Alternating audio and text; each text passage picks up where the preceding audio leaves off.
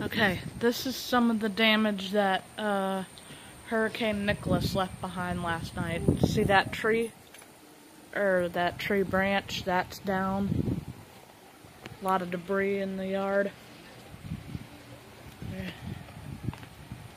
See?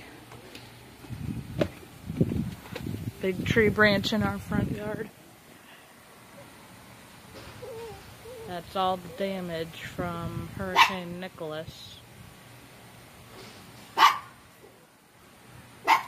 And there's a dog running the streets.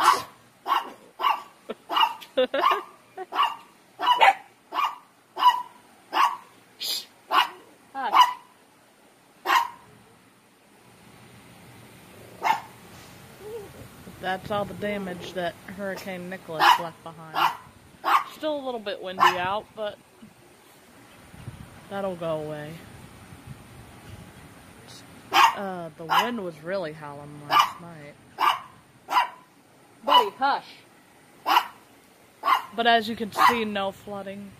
Half half the trailers around here do not have power. Ours does.